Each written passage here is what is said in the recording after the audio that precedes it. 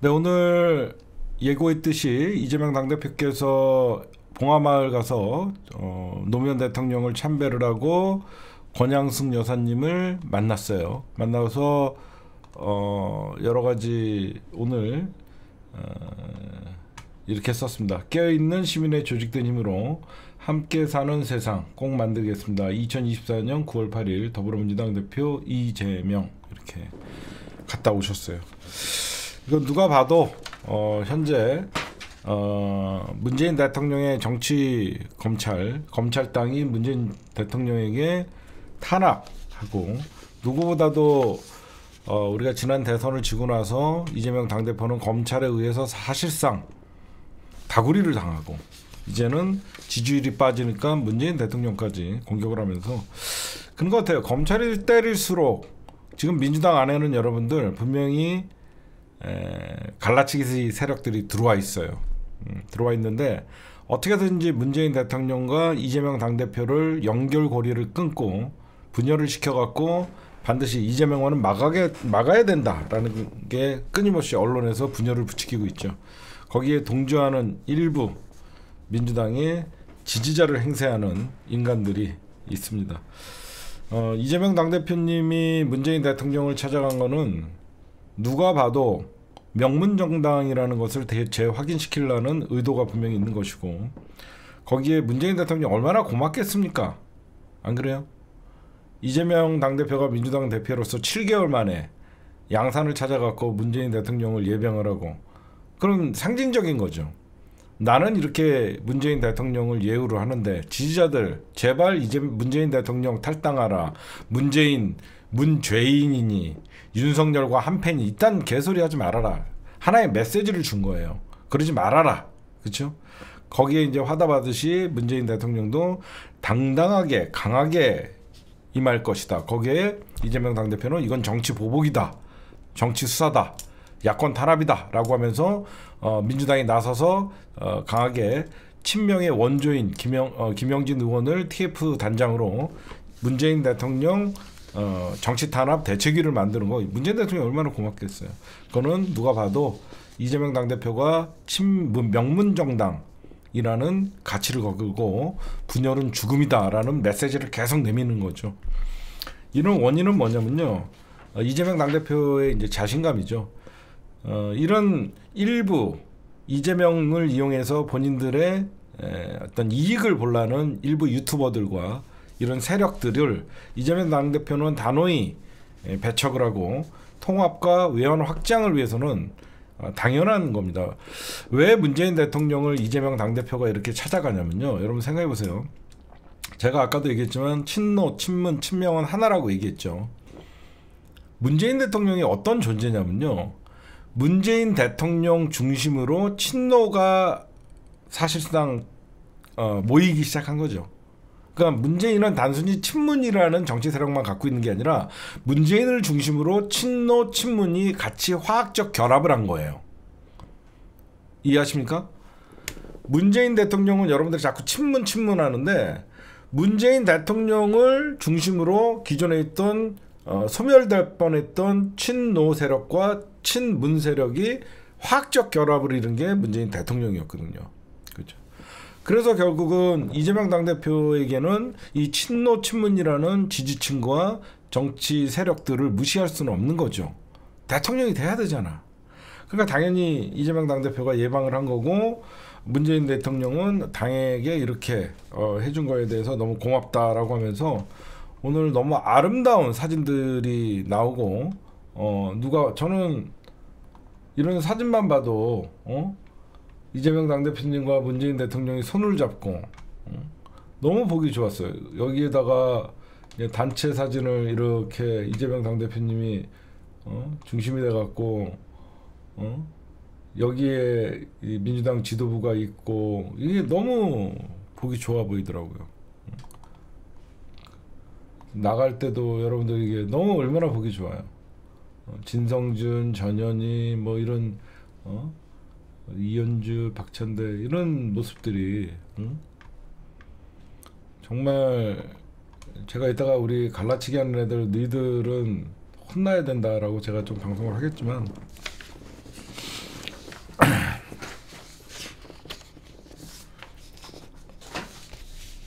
그리고 결국은 저는 참 검찰 대단해요. 어. 이재명만 잡으려다가 이재명 이제는 별로 어, 죽일라다가 이재명 당대표는 불사조같이 살아나고 오히려 이재명이 민주당이 돼버리고 검찰이 여러분들 저는 가만 생각해봐요. 이재명 당대표는 저는 천운을 타고 났다고 생각하거든요. 진짜 검찰에 의해서 죽을 수도 있었어요. 정치 테러를 당하면서도 진짜 죽을 수도 있었고 그 위기 때마다 지금의 민주당의 개혁 일사천리하게 비명 정치인들이 총선에서 날아가고 이거는 단시간에 저는 불가능하다고 생각하는데 검찰에 이런 탄압이 없었다 그러면 지층이 이렇게 강하게 뭉칠 수가 있었을까? 저는 그런 생각을 해요. 그렇죠? 검찰이 탄압하는 만큼 작용과 반작용이 있는 거거든요. 검찰이 이재명을 죽이려고 죽 계속 압박할수록 지지층은 견고하게 뭉치는 거예요. 그게 작용과 반작용이라 그래요. 저는 보면 검찰이 얼마나 이재명 당대표를 죽이기 위해서 거의 2년 반 동안 탈탈탈탈 털고 재판을 걸고 기소를 해도 결국 이재명은 더 강한 이재명이 돼서 나타나거든요. 그런 면이 있고 거기에 이제 문재인 대통령과 이재명을 갈라치기 하기 위해서 검찰이 또 문재인 대통령을 탄압해서 이재명 지지자들로부터 어 문재인 잡아가라라는 소리를 듣고 싶었겠죠. 거기에 이제 이재명 당대표가 거기에 넘어갈 사람이 아니죠. 오히려 양산을 찾아가서 문재인 대통령 손을 꼭 잡고 우리가 지키겠다. 사실 이거잖아요. 쉽게 얘기하면 대통령님 걱정하지 마십시오. 저희가 꼭 지키겠습니다. 어 고맙습니다. 고맙고요. 어뭐 어, 이재명으로 이제는 어, 우리가 정권 교체를 준비를 해야 되는 거 아닙니까? 뭐 이렇게 이거예요. 문재인 대통령은 와줘서 고맙다. 든든하다 이거고 문재인 대통령은 아 이재명 당대표님은 우리가 지키겠습니다. 와줘서 고맙다. 그러면 문재인 대통령 마지막으로 이런 얘기를 해요. 재집권 준비해야 된다. 그럼 누구로 누구를 통해서 재집권 한다는 거예요. 어? 지금의 이재명 당대표가 명실상부한 민주당의 대통령 후보고 재집권 준비하셔야 됩니다. 그러니까 분열에 넘어가면 안 된다. 이재명 당대표가 오늘 무슨 얘기했냐면요. 재집권을 위해서는 당내 어떤 분열 세력과도 어, 맞서겠다. 척결하겠다. 이거예요.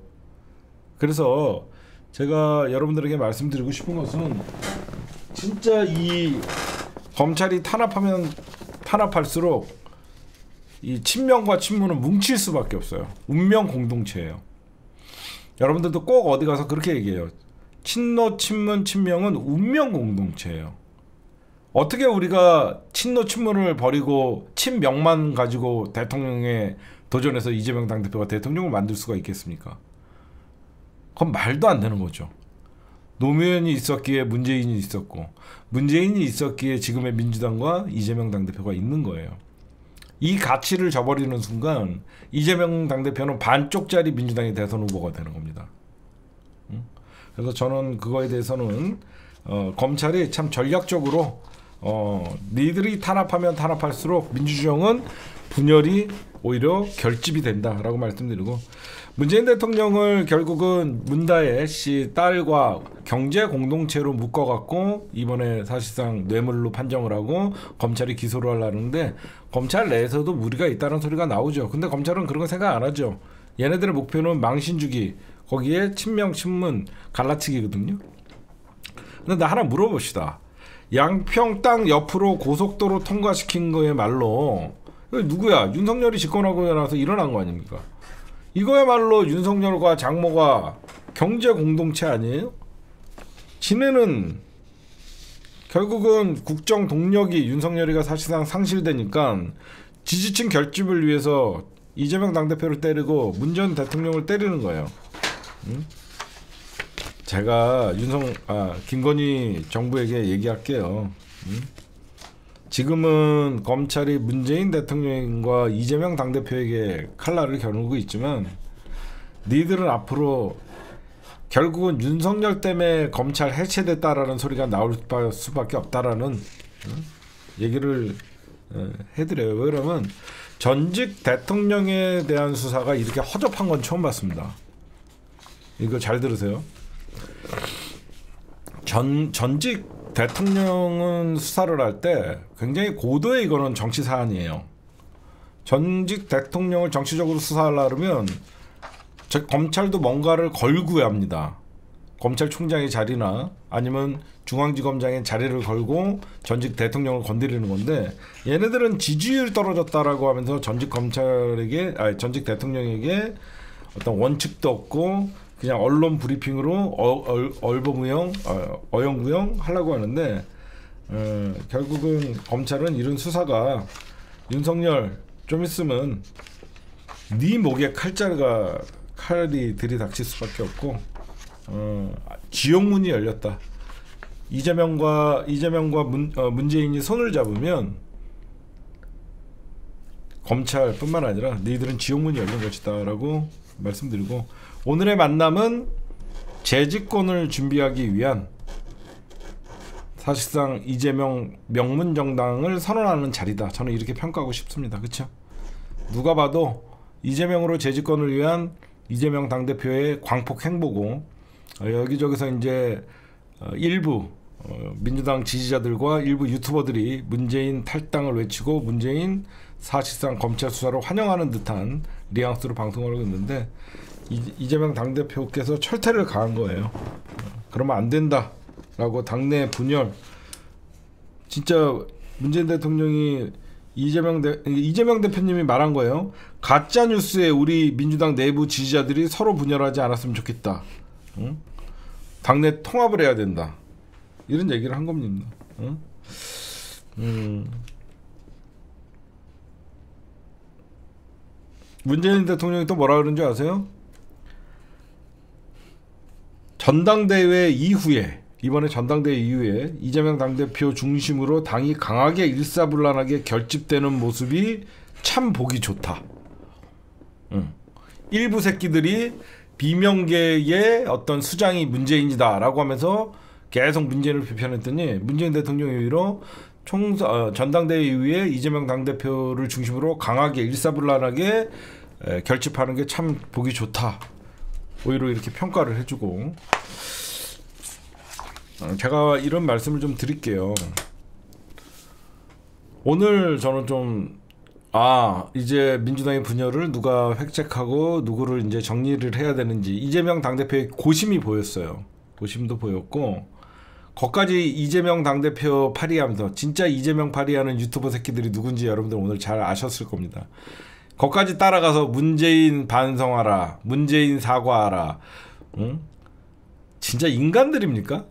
얘네들 좀 있으면 여러분들 문재인 대통령, 아, 이재명 당 대표 말도 안 듣습니다. 이재명 당 대표가 거기 왜 갔어요? 당내 화합을 강조하기 위해 가고, 어? 문재인 대통령을 정치 탄압으로부터 보호해 준다고 하면서 조금 서운해 할 만한 문재인 대통령 지지자들, 결국 문재인 대통령 지지자들이 이재명 당대표 지지자들 아닙니까? 거까지 따라가서 문재인 반성하라 떠드는 일부 유튜버 새끼들 이 새끼들은 앞으로 이재명 당대표 행사에 따라도 못 다니게 해야 됩니다. 응? 응? 이놈들이야말로 코인파리 새끼들. 이재명 찍으면 돈 되니까 거기 따라가서 방송하러 갔으면 방송이나 척키고 앉아있지. 거기 가서 문재인 반성하라는 소리를 외치고. 응? 제가 여러분들에게 이런 말씀 드릴게요. 똑같은 현상이 벌어지는 거예요. 왜 문재인 대통령이 지금 걱정을 하면서 당내 화합이나 이런 것들을 얘기하냐면 문재인 대통령이 집권하기 전에 가장 골치 아팠던 게 친문 똥파리들이었어요. 기억나시죠? 친문 똥파리들. 지네가 문파라고 외쳤던 새끼들. 그게 바로 친문 똥파리들입니다. 이 새끼들이 2018년도에 이재명 당대표를 탈당하라고 외쳤던 새끼들이에요. 기억나요?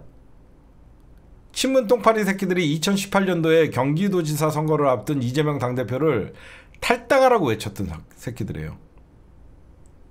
음, 이 새끼들이 이렇게 나가다가는 친명 똥파리 짓이에요 이게 똑같죠 그쵸 친명 똥파리가 이제 생기는 거예요 이재명을 이용해서 똑같지 않아요 예전에 친문 똥파리들이 얘기했던 거 뭐예요 문재인만 보고 간다 문재인만 지킨다 똑같습니다 친무 친명 똥파리 새끼들이 자기는 이재명만 지지한다. 그러면서 뭐라 그래요? 문재인 탈당하라. 똑같은 겁니다. 그래서 문재인 대, 그 당시에 문재인 대통령이 이들과 단절해야 된다. 그래서 그러지 말라고 수십 차례 얘기하고. 응? 지금 이게 굉장히 주요 뭐 결국 나중에 친문 똥파리 새끼들 문파라고 하는 새끼들 누구 지지했어요? 윤석열 지지했습니다. 그렇죠? 이 새끼들은 이 친명 똥파리라고 자처해갖고 떠들고 문재인 탈당을 외치고 잘못된 민주당의 이재명 당대표의 대선 행보에 사실상 걸림돌이 되는 새끼들은 나중에 이재명이 자기네들을 버릴, 버렸다라고 할 새끼들이에요. 그렇잖아. 자기네 요구들을 이재명 당대표가 오히려 자기네들은 문재인 탈당을 외치고 문재인 수사 윤석열과 문재인을 한패라고 얘기하는데 자꾸 이재명이 문재인 대통령을 찾아 이재명 그 당대표께서 문재인 대통령을 찾아가고 그래갖고 화합을 해야 된다. 계속 얘기하면 이 새끼들은 뭐예요? 고립되겠죠. 고립되면 어떻게 돼요? 나중에 아 이재명도 더 이상 지지하지 못하겠다. 라고 하면서 튕겨져 나가겠죠. 그러면 자기네들이 다음에 자기 누구 지지할 똑같은 거예요. 이러다 큰일 나는 거예요. 이놈들이 결국은 이재명만 자기는 보고 간다 그랬다가 이제는 이재명에게 등에 칼을 꽂을 사람들 이재명 당대표에게 이게 눈에 보이는 사람들은 아마 보일 거예요 똑같은 거예요 민주당 내부에 침투해서 민주당 지지자들의 자극적인 얘기를 하면서 음? 윤석열이가 나라를 개판치면 칠수록 사람들은 심리적으로 문재인 대통령이 원망스러울 수 있죠 문재인 대통령이 원망스러울 수 있는 그 마음을 자극해서 문재인 악마화를 만들고 똑같죠. 이재명 당대표 악마화 만들었었잖아. 악마화 시켰잖아. 그 악마화 시켜갖고 친문 똥파리 새끼들이 결국은 윤석열 지지했잖아. 자기네들은 이재명을 지지한다, 이제 지지하지 못한다 그러면서 똑같은 거예요, 여러분들. 이 양산에서 문재인 탈당 외치는 새끼들이 정상적인 새끼들이냐고. 그게 이재명 지지자 맞냐고. 이재명 당대표는 어떻게든지 친노, 친문, 친명으로 이어가야만 대선에서 0.73%라는 이런 패배를 극복할 수 있는데 이런 짓거리를 하는 거죠. 조국을 문재인과 패거리라고 하면서 조국을 악마시키고 조국 장관님이 이재명 당대표님이 범진보의 민주당 후보가 될 게 될 때 국힘당을 지지하겠습니까? 말 같지도 않은 소리잖아. 눈에 보이는 민주당의 외연 확장을 막으면서 나는 이재명을 지킨다 라고 하면서 이재명 지지자를 표방해서 점점점 이재명 당대표로 고립시키고 그러니까 과거에 송과혁들이 하던 짓이에요. 이재명 당대표께서 송과혁과 단호히 손절을 했었잖아요. 근데 어느 순간 개딸 파리를 하면서 송과혁이 민주당을 침투해갖고 개딸과 송, 어, 개딸을 팔면서 송가혁이 민주당의 강성 지지층이다라고 하면서 이들이 지금 민주당의 모든 여론을 그리고 당원들을 마치 자기네들이 리더해가는 짓거리를 하는 거죠. 절대 우리는 이런 것들에 대해서 여러분들 좌고면하면 안 되고 반드시 조기에 철퇴를 가해야 돼요. 음. 그래서 저희가 더민주 전국 혁신회의도 어, 원외 집단이면 정권 교체를 위해서 박가리를 그 지역에서 해야 되지 원내 정치에 개입하는 것은 잘못됐다라고 하면서 제가 계속 비판을 했던 것이고요. 이재명 당대표께서도 지금 어떤 유튜버 새끼들이 지금 당내 분열을 가하게 하고 문재인 대통령을 욕하고 문재인 대통령과 이재명 당대표를 분열시키는지 다 알고 계세요. 다 알고 계세요. 다 알고 계시기 때문에 에, 반드시 척결해야 되고 그럴수록 이재명 당대표는 님께서는 나나 새날이나 김어준 총수나 민주당의 전통성을 주장하고 통합을 강조하는 사람들이 당연히 더 의지할 수밖에 없겠죠. 안 그래요? 이재명 당대표의 목표가 반쪽짜리 대통령입니까? 범민 민주당의 대통령이 아니에요. 범민주 진영의 민주당을 넘어서는 대통령이 돼야 돼요. 저는 저는 꼭 그렇게 생각합니다. 이재명 당대표는 단순히 민주당의 대통령 후보가 아니라 범민주 진영의 대통령 후보가 돼서 그래야만 또 제2의 심상정이 나오지 않는 것이고 범민주 진영의 단일 대통령 후보가 돼서 저 국힘당과 1대1로 붙어서 압도적인 승리를 해야 돼요. 그러니까 여러분들이 제가 얘기했잖아요. 문재인 대통령에게 아쉽고 서운한 거 있을 수 있어요. 근데 이재명 당대표를 위해서 문재인을 욕한다? 이 말에 현혹되는 사람들이 정말 어리석다는 거예요. 정말 어리석다는 거예요. 어떻게 이재명을 위해서 문재인을 죽여야 됩니까? 이재명 당대표는 그게 아니라 그러면서 이재명 당대표가 이번에 8일날 급하게 코로나 원래는 그 전에 가실라다 코로나 걸리셨었잖아요. 그 다음에 이번에 양산을 방문한 것은 전당대회에서 문재인 대통령 축하 영상을 보면서 야유 소리가 나오면서 빨리 꺼라고 떠들었던 그런 인간들 여러분 어디 다닐 때 그런 인간들 문재인 대통령 욕하고 조국 장관님 욕하고 이래들 이재명 당대표의 대선 과도에 1도 도움이 안 되고 이재명 당대표가 가장 외연 확장하는데 걸림돌이에요. 여러분들은 절대 그러지 마십시오. 제가 그래서 야 그러면 우리가 무슨 일을 할 수 있을까? 또 제가 아이디어가 생각났어요. 조만간 때가 오면 다시 시사타파 회원들과 개혁본 회원들이 뭉쳐서 우리는 문재인 대통령을 사랑합니다. 이재명 당대표 지지자 일동 갑시다 한번. 500명, 600명, 1000명이 가서 그 양산 마을에 줄을 쓰면서 사랑해요 문재인을 외치면서 플랜카드에서 플랜카드에는 친노 친, 친문 친명 명문 정당 우리는 이재명 당대표 지지자들입니다. 진짜 지지자들은 문재인 대통령을 사랑합니다. 이거에 뉴스에 나와야죠. 안 그래요? 이게 뉴스에 나와야지. 일부 지 돈벌이에 눈이 멀어서 이재명 당대표께서는 문재인 대통령을 만나고 있는데 거기서 문재인 탈당을 외치는 그런 몇몇이 마치 이재명 당대표 지지자들의 전체의 목소리 같이 비춰지는 게 잘못됐다는 거예요. 그렇죠? 잘못됐다는 거예요. 진짜 이재명 당대표가 대통령을 바라 대통령 되기를 바라고 지지하는 사람들은 문재인 대통령 욕하지 않아요. 제가 뜨면 언론에서는 기사가 기사가 나갑니다. 그래서 조만간 우리가 힘들어도 진짜 이재명 당대표를 사랑하는 지지자들은 어? 이재명 당대표를 사랑하는 지지자 아니면 이재명 지지자들 모임 이래갖고 우리가 문재인 대통령님 사랑합니다.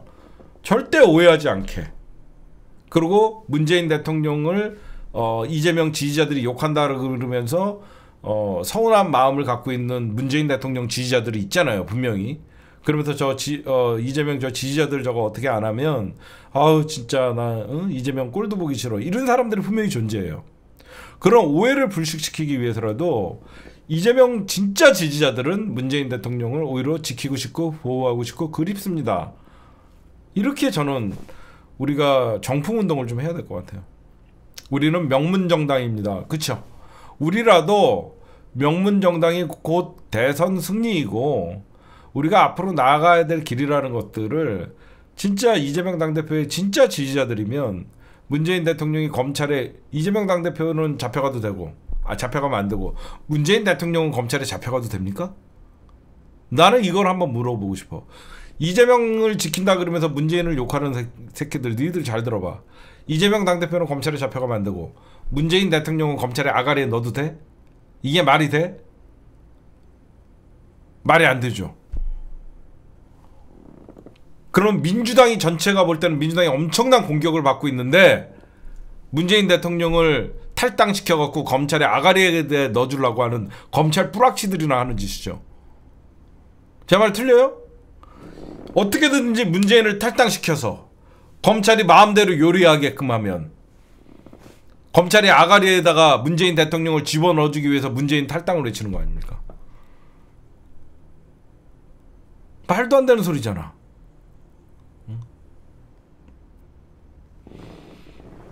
이 사람들아 문재인 대통령 처리하면 그 다음에 또 칼날은 이재명 당대표에게 오는 거야. 그래서 이재명 당대표님이 검찰의 탄압이 오면 올수록 문재인 대통령과 이재명 당대표께서는 뭉칠 수밖에 없는 거야. 절대 여러분들 지 돈벌이를 위해서 이재명을 파는 새끼들이 누구인지 제발 분간 좀 하십시오. 응원할 때를 응원해. 어? 진짜 이재명이 좋다 그러면 어떻게 해서든지 내 편으로 만들 생각을 해야지. 있는 편도 날리려고 하는 게 무슨 이재명 당대표입니까? 그래서 오늘 마지막으로 이재명 당대표님의 양산 방문은 봉화와 양산 방면은 재집권을 위한 시동이고 당내 분열 세력에 단호히 맞서고 통합을 위한 행보였다. 그렇게 평가합니다. 그 다음 네 지금 정부가 음, 한풀 꺾여서 겉으로는 어 원점에서 재검토하겠다 이런 얘기를 합니다. 이거는 쇼예요. 왜 쇼냐면 지금 국힘당 친윤계 의원들마저도 돌아서려고 하고 조중동마저도 왜냐면 국민이 실질적으로 이제 죽어가고 있고 추석이 앞두고 여기서 의료 대란 문제가 의료 참사가 현실화되니까 어, 한 발짝 물러서 모습이죠. 의대 증원 원점 논의. 응? 저는 이런 얘기를 먼저 해주고 싶어요. 이제 와서 의대 증원 원점 논의를 한다. 순서가 바뀌었죠. 이 혼란을 야기시킨 대통령이 진심 어린 사과를 해야죠. 그렇죠? 이걸 선거에 이용해서 총선에서 유리하게끔 만들라고 저는 의사들 증언하는 방향은 옳다고 생각합니다. 방법이 글러 처먹었어요. 번개불에 콩 구워 먹듯이 총선에 이용하려고 2천명이라는 숫자를 절대 가치로 밀어붙이다가 엄한 국민들 지금 하루에도 수십 명씩 죽어나가고 있죠. 어디서 누가 치료를 못 받아서 죽는지도 모릅니다. 대통령이 먼저 사과를 해야죠. 지금 여러분들 보시면 어 제가 해법도 좀 드릴게요. 지금 이제 여야정 협의체를 논의하겠다. 이거 한동훈과 이재명 당대표께서 만나고 얘기했죠. 여야 의정 합의체를 만들겠다라고 했는데 이거는 몇 년도에 지금 의사들 입장은 단호합니다. 지금 의사들 입장은 어떠냐? 저는 의사를 옹호하는 게 아니에요. 결국은 기득권과 기득권이 부, 여러분들 아마 아 요걸 얘기하죠. 이번 의대 의, 의대 증원 문제로 의료 참사가 의료 대란이 일어나면서 대한민국 국민들이 분명히 확인한 게 있어요. 뭐죠? 기득권과 기득권이 싸움은 국민이 죽어나간다. 그렇죠? 이걸 많이 전파해야 돼요. 기득권과 기득권이 싸울 경우에는 결국 그 피해는 국민들이 몫으로 전부 돌아간다. 이거를 우리가 지금 눈에 매일매일 현실로 우리가 보는 거예요, 여러분. 기득권과 기득권이 부딪힐 경우에는 국민들이 죽어나간다. 이게 가장 지금 의사들과 지금 이게 접점이 제가 보면 이거 의, 여야 의정 협의체 물 건너갑니다. 왜 물 건너가냐? 의사들 이거 절대 타협 안 할 거예요. 음. 여론 이거 먹어 얘네들 이 미치게 안 써요. 지금 정부가 2026년부터 의대 증원 문제를 원점에서 다시 생각하자. 지금 유, 실질적으로 한동훈이가 제안했던 걸 받아들이는 거고 의사들은 당장 내년부터 의대 증원 원점에서 안 된다. 어, 그게 부딪히는 거예요. 지금 정부가 한 발짝 물러나면서 한동훈 안을 받아들여서 2026년부터 의대 증원 문제를 논의를 하자. 2025년은 어쩔 수 없으니까. 의사들은 2025년이 왜 어쩔 수 없냐. 이거를 처음부터 논의를 하자. 이거예요. 이걸로 맞서는 거예요. 근데 정부의 입장은 9월 아마 13일 시작됐나요? 9월 9일이 내일이죠. 내일부터 13일까지 사실상 입시 요강이 나가요. 음. 9월 9일부터 13일까지 수시 모집 원서 접수가 시작됩니다. 벌써 내년 올해 내년도 원서 접수가 내일부터 13일까지 이루어져요. 그러면 어, 내년 의사 선발 규모가 4,565명인데 여기서 수시 모집이 68%예요. 몇 명이냐? 3,089명이에요. 이거를 제가 보면 정부가 과연 내년부터 수시 모집 원서 접수가 돼요. 원서 수시 모집. 그러면 3,089명이 수시 모집에 응시를 할 거 아닙니까? 그래서 이제 정부는 2025년도 의대 증원 입 조정 문제는 불가능한 상태다라고 얘기를 해요. 누가 이렇게까지 만들어낸 거죠. 응? 지금 의사들은 무조건 2025년 당장 내년 그다음에 2026년 의대 증원 문제를 백지화해야 된다. 그러면서 조건이 뭐냐? 그럼 2027년 정원부터 다시 논의하자예요. 음. 2025년, 2026년은 안 되고 2027년부터 논의를 하자. 이유는 이거는 어디까지나 제가 의사들 편에 의사들의 논리는 어 2025년도 한명도 증원을 중단하지 않으면 내년에 엄청난 학생들이 불어날 거 아닙니까? 왜 이번 의사 의료 파업을 하면서 얘네들이 유급 당하잖아요. 그래서 1학년이 두 클래스가 생기는 거예요. 어, 내년에 불어난 학생들을 제대로 가르칠 방법이 없고 수천 명이 휴학하는 사태가 벌어질 수밖에 없고 지금 계속 그게 누적된다는 거죠. 그런 교수진들도 없고 그러니까 정부 그러니까 지금 아마 이 정부가 해법이 없을 거예요. 결국은 의사들에게 그러면 비밀리에 2025년, 2026년 유예를 시켜주면 어떻게 할 것이냐. 이거는 제가 보면 답이 없을 것입니다. 그래서 제 생각은 딴 거 없어요. 응? 우리가 여러분들 당장 내년에 의대 증원하는 거랑 어, 한 3년 정도 늦게 의대 증원을 문제를 어, 토의하는 거랑 그렇게 큰 불편 없으면 저는 현재는 의사들의 요구를 받아들여서 일단 국민들의 이 불안감을 좀 해소시키고 윤석열이가 이 사태를 어, 야기시킨 책임자들 보건복지부 장차관 거기에 이주호 거기에 어, 시민 어, 누구죠? 시민사회 수석 저기 비서관 이런 사람들을 저는 사실상 경질해야 된다고 생각해요. 음? 지금 의사들은 2025년 의대 문제를 포함시키자. 결국은 보건복지부 장관 경질 이거를 요구하고 있고 어, 정부도 지금 증원 유예 없다. 딴 거 없어요. 윤석열은 사과부터 해야 돼요. 음. 그러면 여기서 가장 수혜자는 누구냐? 한동훈이에요. 아마 내일부터 언론은 윤석열 사과를 요구하고 의대도 한 발짝 물러나라고 얘기하면서 언론이 중재안을 막 내려고 할 겁니다. 한동훈은 가장 큰 수혜자예요. 뭐냐? 한동훈의 리더십이 빛났다라고 하면서 언론은 대석 특필할 겁니다. 한동훈의 리더십, 한동훈의 당정 갈등 재논의 엄청나게 한동훈을 띄울 거예요. 한동훈이 옳았다 이러면서 그러면서 대통령실에 한 발짝 물러났다. 그래서 한동훈이가 여기서 이제 노리는 건 뭐냐? 본인이 이 의료 참사에 관한 정부와 어, 의사 단체의 문제를 본인이 해결하려고 할 거예요. 음. 그러면 한동훈이는 2026년이라는 1년 2025년 패스하고 2026년으로 갔죠. 한동훈이 아마 이거 자기가 얘기했지만 이것도 물러날 가능성이 많죠. 당장 국민들이 죽어나가는데 1년 2025년이 중요하냐 2026년이 중요하냐고 하면서 일단 27년도 아니라도 논의를 하자라고 하면서 아마 복귀를 시킬 겁니다.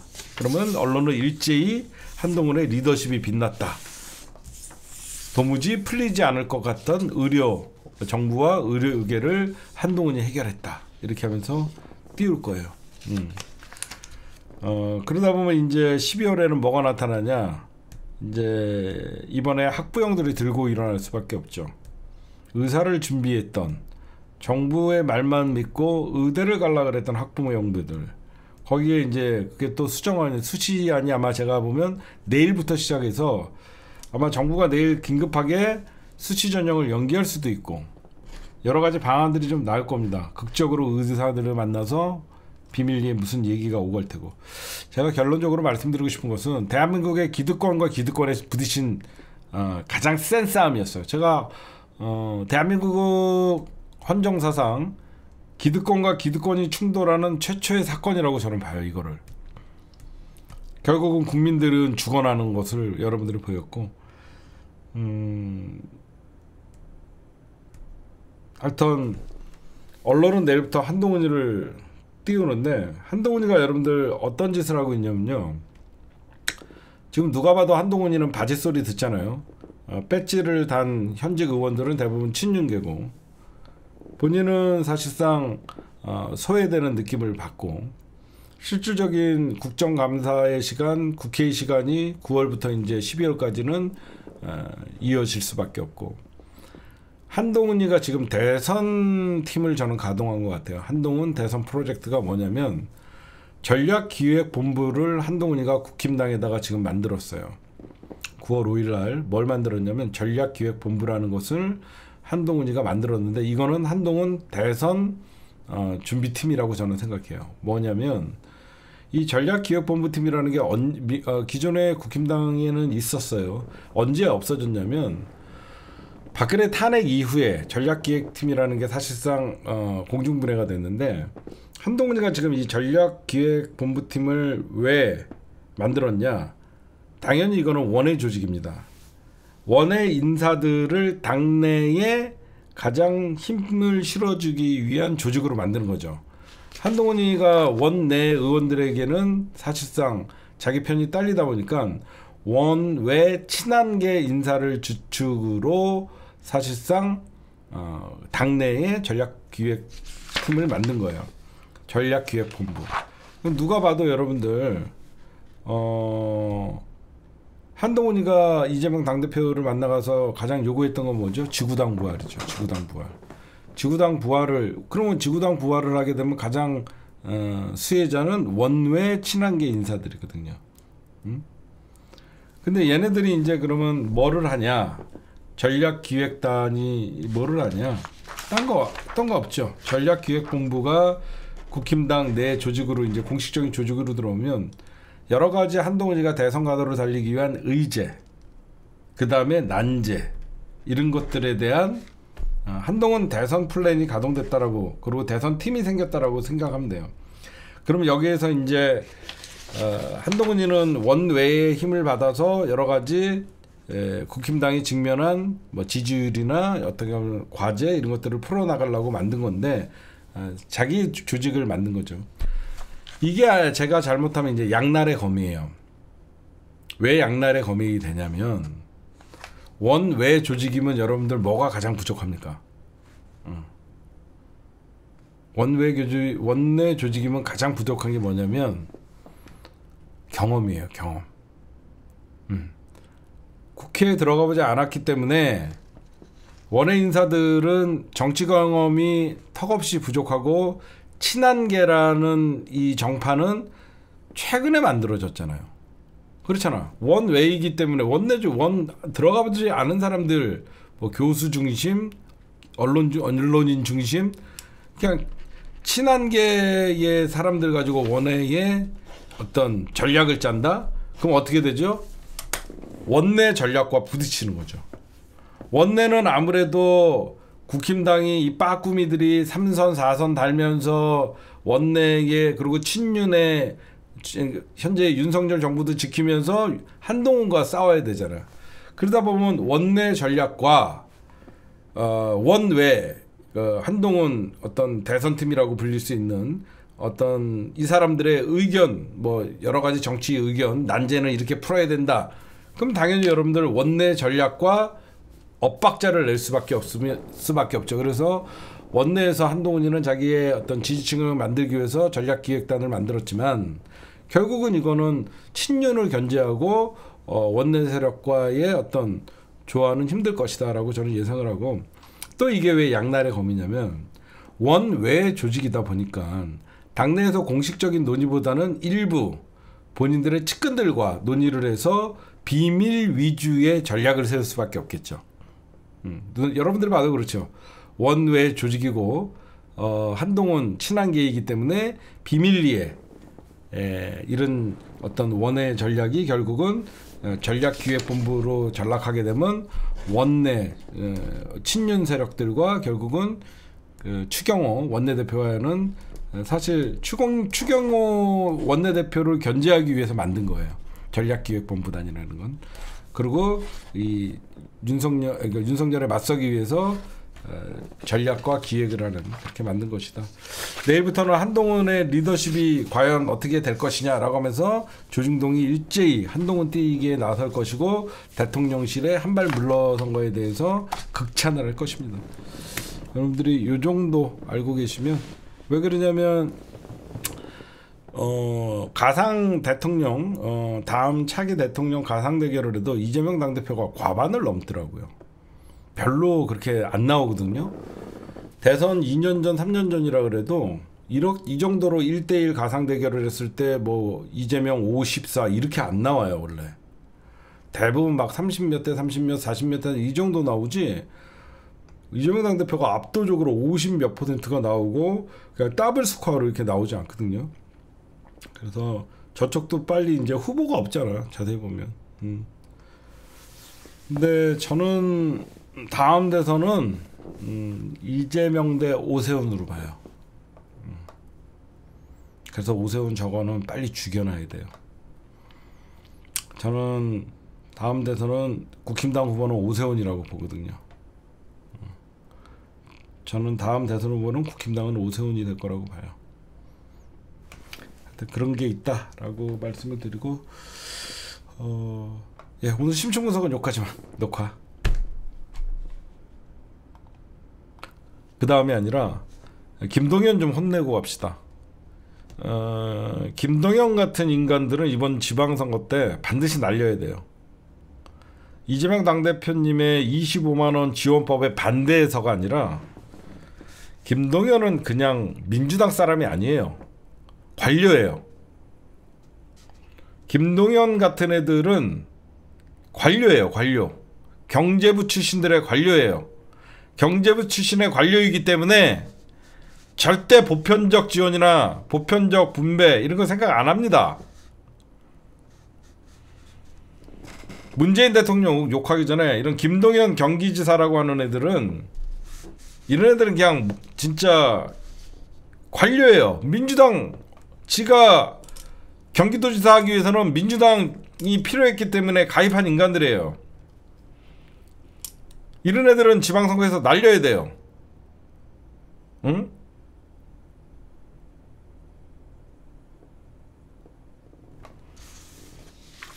어디서 당론에 반기 드는 새끼가 왜 민주당 출신의 경기도지사가 돼야 됩니까? 부적절한 거예요. 징계해버려야 돼요. 응? 제가 예전부터 이상하다고 하는 믿지 말라고 했죠. 제가 예전부터 김동연 믿지 말아라. 김동연은 경제 관료일 뿐이다. 응? 그러면 이런 소리를 합니다. 문재인 정부에서 김동연을 경제 관료시킨 거 아니냐.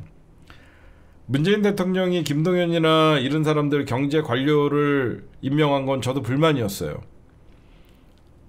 왜 그랬냐? 문재인 당대표는 이 경제 관료들에게 의지하는 것보다 사실상 그 당시에 청와대 청와대 경제수석이나 이런 사람들이 어 그러니까 문재인 정부의 경제 패러다임은 소득 주도 성장이었죠.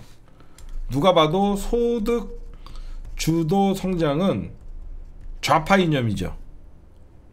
제 얘기가 제가 좀 문재인을 위한 변명을 좀 해드릴게요. 소득 주도 성장은 일단은 사실 이게 겉 뒤에는 성장이라고 얘기했지만 소득 주도는 분배 정책이에요. 문재인 대통령의 경제 정책은 분배 정책에 초점이 맞춰져 있던 거예요. 그 비판을 면화 비판을 완화시키기 위해서 소득 주도 분배 정책임에도 불구하고 소득 주도 성장 정책이라는 워딩을 썼던 거예요. 그래서 오히려 비판을 받았던 거예요.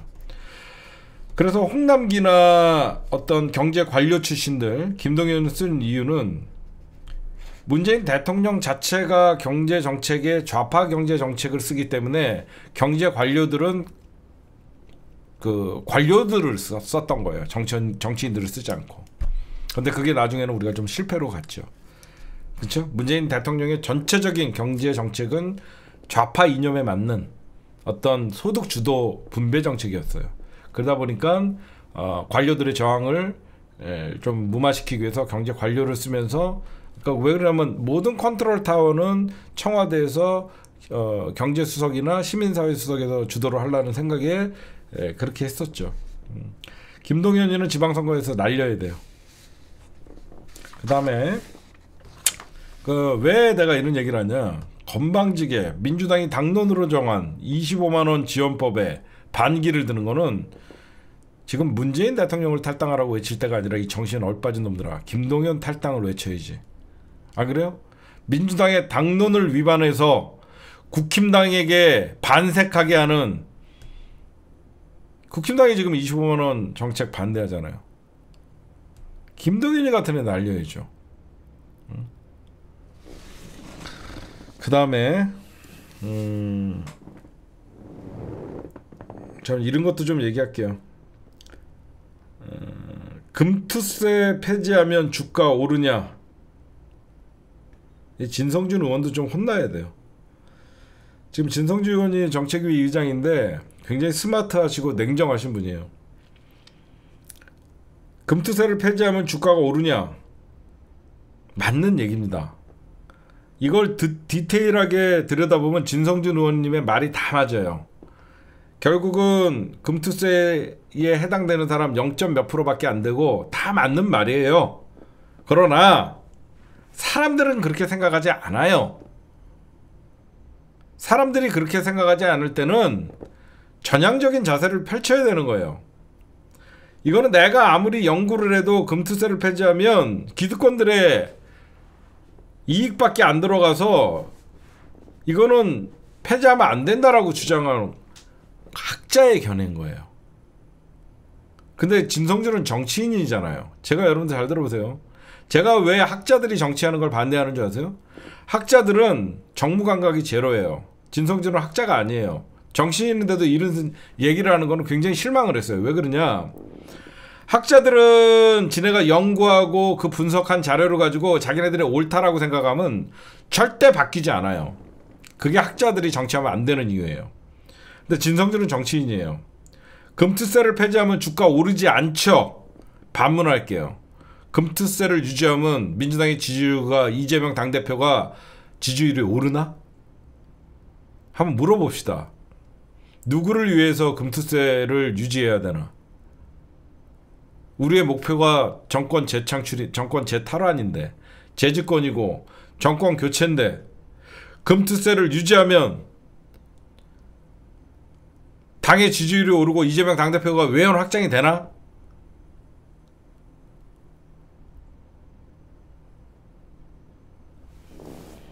생각을 합시다. 정치인과 교수의 차이점은 이게 실질적으로 여론에 의해서 호도가 되고 사람들이 일부의 이익을 위해서 개미들이 대변을 한다 해도 저도 이거 연구해 보면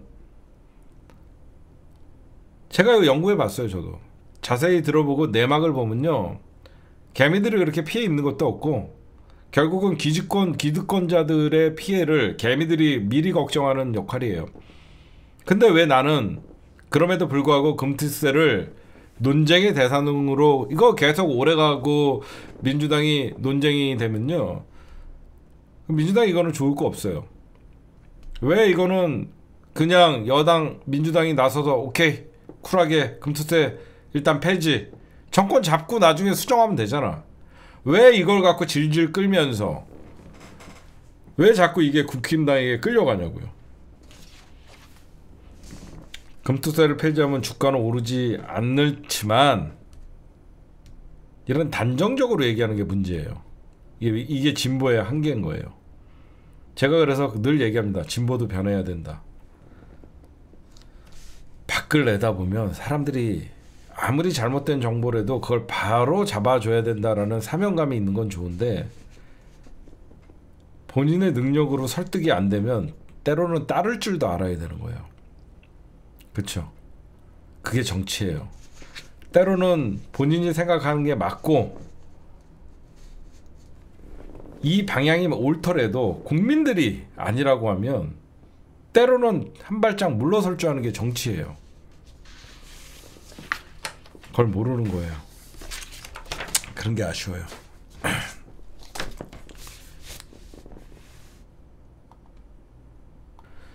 네, 여러분들 안녕하세요. 시사타파의 심층분석. 예, 제가 한 이틀간 방송 못했습니다. 금요일, 토요일 날 못했더니 오늘 할 얘기가 많습니다. 예. 어, 먼저 어, 여태까지 여러분들 요즘 뭐 윤석열 씨에 대한 윤 대통령 명예훼손 사건 하면서 어, 대충 알고 계시죠. 뭐 뉴스타파의 봉지욱 기자나 뭐 여러 기자들을 압수수색하고 지금 검찰이 노골적으로 지금 재판까지 회부를 해갖고 재판이 진행되고 있는 거 여러분들이 아마 아실 겁니다. 그, 이, 그냥 쉽게 얘기해 줄게요. 검찰, 윤석열 명예훼손 사건, 기자들 이걸 언론 탄압하는 게 핵심이 뭐냐? 어, 아시는 분들은 아시겠지만, 그, 윤석열이가 어, 대선 후보일 때 이 언론 그 기사가 나간, 어, 영상과 기사가 나갔던 게, 그, 윤석열이가 2011년도에 그 당시에 부산저축은행 사건에서 대장동 대출 브로커 조우용 씨의 수사를 무마하려 했다라는 보도, 뉴스타파의 보도 갖고 윤석열의 대통령의 명예훼손 사건으로 걸어갖고 지금 계속 재판이 진행되는 거예요. 근데 이제 재판부는 어, 뉴스타파의 보도가 어, 윤석열의 무슨 명예를 훼손한 거냐? 어? 그거를 검찰이 설명하라라고 하는데 검찰이 그걸 설명을 제대로 못해요. 어. 근데 검찰은 제대로 설명도 못하면서 여전히 공직선거법상 허위사실 공표죄로 어 그렇게 계속 하면서 이게 어 나오고 있다. 그러니까 여러분들이 어 윤석열 대통령의 명예훼손 사건은 이렇게 어떤 언론 기사에 이렇게 나올 때 아 저거 윤석열이가 2011년도 어, 부산 그 당시에 차장 검사로 있을 땐가? 그때 아마 부산저축은 대장동 대출브로커 조우영 씨의 어떤 사실상 사건을 무마시켰다. 그 사건이구나. 그 보도 뉴스타파 보도구나. 이렇게 아시면 될 것 같습니다. 그 다음에 내일 내일 우리나라 같은 경우에는 여러분들 우리나라는 나만의 단독 정부를 4월 11일 날 대한민국 임시 정부가 세워졌죠. 어 저는 북한은 여러분들 어, 우리보다 늦은 9월 9일 날 북한의 단독 정부가 생겼어요. 그래갖고 북한은 어, 어떻게 보면 이거를 정권 수립일이라고 합니다. 그래서 되게 크게 행사를 하는데 어 그래서 추미애 당 대표 전 대표가 우리도 대한민국 임시정부 수립일을 국경일로 지정하자 그러면서 4월 11일을 발의한 거예요.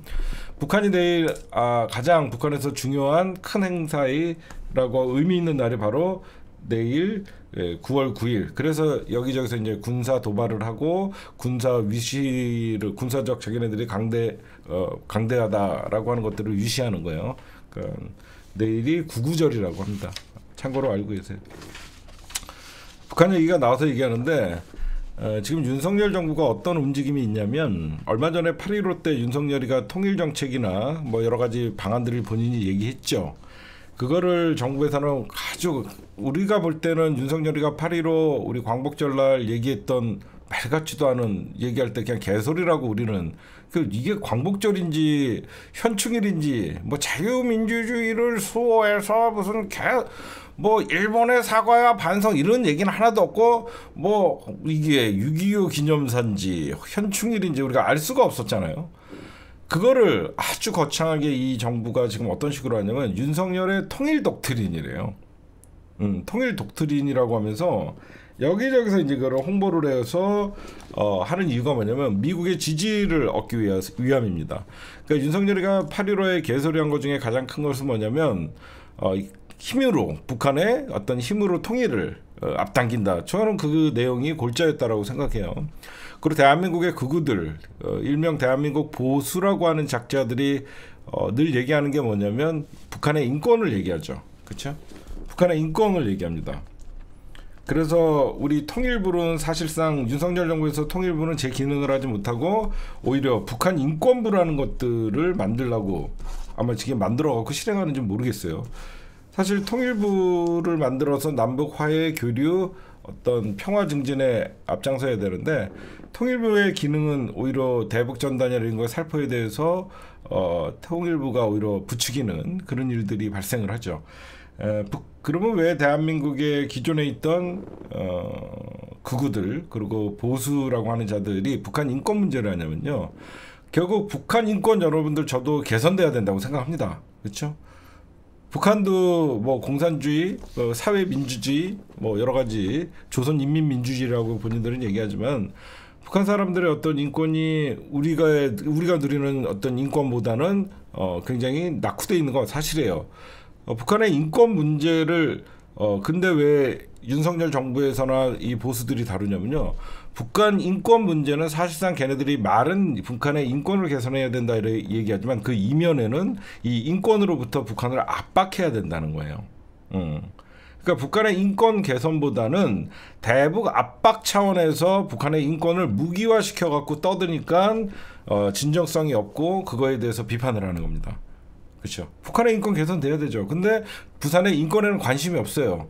그 북한의 인권 문제로 일본과 손을 잡고 뭐 일본인 납치 문제 그리고 북한의 어떤 국민들의 문제 그렇게 하면서 그 대한민국 우리 헌법에는 북한도 우리나라 땅으로 돼 있으니까 북진 통일 강경 대응 이렇게 얘기하는 거예요, 여러분들. 대북 압박용으로 쓰니까 그구들이 본심이 저버려졌다라고 여러분들에게 말씀드리는 거예요. 어, 그 부분에 대해서 여러분들이 어디 가서 얘기하면 북한 인권 문제가 왜 나오나, 왜 그구들이 북한 인권 문제를 다루려고 하냐, 북한의 압박, 그리고 어, 미국, 일본의 공조를 통해서 어, 사실상 인권은 뒤로 하고 그런 것 그런 거라고 여러분들 보시면 될 것 같고, 그 다음에 또 어, 보수가 이해가지 않는 거. 그 쟤네들이 여러분들 얘기할 때 핵무장론을 얘기하잖아요, 그렇죠? 핵무장론. 미국은 핵무장 안 된다라고 이미 선언을 했어요. 윤석열 정부뿐만 아니라 어, 미국은 비핵화 정책을 펼치기 때문에 한반도에서는 절대 그 누구도 핵을 가질 수 없다. 그래서 북한을 탄압을 하고 유엔에서 제재를 하잖아요. 근데 우리나라 보수들은 미국과의 동맹을 중요시하면서도 왜 미국이 반대하는 핵무장을 자꾸 꺼내냐? 이거 왜 그러냐면요. 지지율이 떨어질 때 나오는 현상이에요. 북한의 핵무제, 핵무장 이런 거는 극우들의 요청 사항이거든요. 그러니까 윤석열이 지지율이 바닥을 치면 칠수록 극우나 보수 국힘당의 어떤 강경파들은 뭐 북한의 핵 문제, 그러니까 대한민국의 핵무장을 계속 얘기하는 거예요. 그들만의 지지층 결속을 위해서 써, 어, 써먹는 거예요. 지네들이 지지율이 막 올라가고 그럴 때는 이런 어, 미국이 반대하는 어, 그리고 어, 한반도 비핵화에 어긋나는 이런 핵무장론을 어, 꺼내들지 못하죠. 어, 그러니까 어, 이게 왜 그러면 큰 문제가 있냐? 이 대통령이라는 자는 그러니까, 그러니까 제가 윤석열을 가장 비판하는 점들이 뭐냐면 본인의 정권을 지키기 위해서 국가의 안보를 사실상 명운을 건다는 거예요. 그렇잖아요. 아니 결국 윤석열 정부 지키기 위해서 극우들이 좋아하는 핵무장론을 꺼낸, 꺼낸다는 것은 어, 어떻게 보면 많은 어, 우리나라의 국민이 극우들만 있는 거 아니잖아요. 극우는 일부고 대한민국의 진보와 보수, 무당층 다양한 대한민국의 정치 세력 정치 이념을 갖고 있는 사람들이 있고 정치에 관심 없는 사람들도 있는데 본인의 정권을 지키기 위해서 어, 극우들을 지지층으로 어, 확고히 잡기 위해서 이런 핵무장론을 꺼낸다는 것은 결국 이렇게 핵무장이 꺼내론이 자꾸 나오고 한반도에 미국의 핵 자산이 들어오고 그러면 많은 국민들이 와 미국의 핵 자산이 들어왔으니까 우리는 이제 안전하다 이렇게 생각하지 않아요. 자꾸 군사적으로 뭔가 계속 북한도 군비 증강을 하고 우리나라도 군비 증강을 하고 그러면 어때요? 국민들은 불안해지는 거거든요. 그래서 제가 보면 어, 굉장히 본인의 정권을 지키기 위해서 국민들은 불안하게 떨고 대외적으로는 대한민국의 국제사회에서 영향력이 떨어질 수밖에 미국의 의존도가 더욱더 높아지니까 그리고 경제적으로도 봐도 굉장히 불안한 대한민국의 안보 상황이 비춰지면 부정적 영향을 줄 수밖에 없는데 결국 윤석열은 국가의 안보도 자기 정권을 어, 지키기 위한 수단으로 쓴다라는 이런 비판을 드리고 싶은 거예요. 그 다음에 정부가 이제 광복회관 관리비를 동결을 했어요. 그러니까 이 정부나 그들이나 정권을 잡으면 늘그 써먹는 게 뭐냐면 돈으로 압박하거나 그렇죠? 돈으로 압박하거나 메신저로 공격하는 이런 조중동의 논리 그다음에 구구들의 형태였죠. 사람을 공격하거나 돈으로 압박해서 어 너만 없으면 우리 단체가 살아나는데 그죠? 항상 어떤 만약에 어 어떤 단체의 수장이 반정부 인사가 딱 올라가는 순간 대표적인 게 뭐냐면 TBS죠. 그렇죠? TBS에서 오세훈 시장이 있기 전에 TBS 사장이 TBS를 김원준의 뉴스공장을 통해서 사실상 어, 민주진보 방송을 대표하는 TBS 방송이 돼버렸잖아요. 그러니까 오세훈이가 서울시장 되자마자 사장을 교체하고 TBS에 대한 전액 지원을 끊어버리죠. 그러면 어떻게 돼요? 어, 그 사장이 안 물러날 수가 없죠. 그 사장이 버티고 있는 한 어, TBS에 대한 지원 예산이 전액 삭감이 되니까 이런 식으로 어, 얘네들이 광복회에 이종찬 회장이 윤석열 정부에 맞서는 광복회가 사실 독립기관의 대표적인 단체잖아요. 에, 그러다 보니까 이제 예산으로 압박을 하면 어떻게 되냐면 많은 밑에 사람들이 결국은 예산이 줄어들면 필요 예산들이 줄어들면 어디에선가 피해 보는 사람들이 생기면 그 사람들은 누구를 원망할 것 같아요. 그 단체 장을 원망을 하는 거예요. 그렇죠? 어, 단체 장을 원망하는 거죠. 그러면 이종찬만 없으면 우리 광복회는 살아난다. 그러면 이런 소리가 계속하면 이종찬의 그 광복회 안에서의 입지를 흔드는 거예요. 돈으로. 이런 식으로 동결을 하고 돈줄 주고 압박하는 아주 시절한 방법이죠. 그러면 이제 민주당이 저런 식으로 하면 어떻게 하면 되냐? 이제 대안이 있습니다. 그래 그따위로 해. 그럼 민주당은 정부의 예산을 다 깎아버리면 돼요. 여러분들에게 저번에도 말씀드리지만 예산 편성권은 정부에게 있어요. 기획재정부에서 예산 편성을 하면 국회가 할 수 있는 것은 그 예산이 필요하냐 안 하냐 그거를 가지고 예산 삭감의 기능은 국회가 가지고 있는 거예요. 무슨 말씀인지 아시겠죠?